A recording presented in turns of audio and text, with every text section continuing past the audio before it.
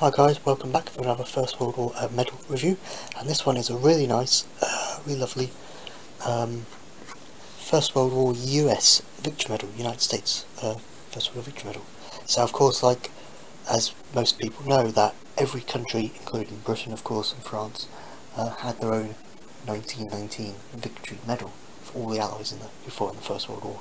America got one as well of course, just of course like Britain. Um, so medals of course introduced in 1919 for the Americans and other allies. Uh, of course this one being the US one. That's the back. Um, it's got uh, France, Italy, Serbia, Japan, uh, Montenegro, Russia, Greece, Great Britain, Bulgaria, Brazil, Portugal, what's that?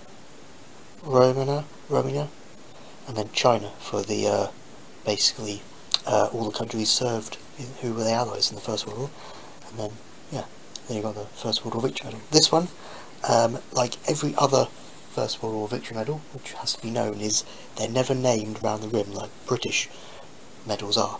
It's always named of course when you when it comes in with the box. So all the ones you're going to find which are genuine like this one, original like this one, um, without a box could be to anyone. Um, so yeah, nice one. Typical uh, victory medal ribbon on everyone, all the countries, all the flags of all the countries, allies, countries who fought in the Great War. And yeah. So, um, that's been a little quick military video on the First World War US, uh, United States American um, victory medal. So, thanks for watching guys, have a good one, and uh, yeah, I'll see you in the next video.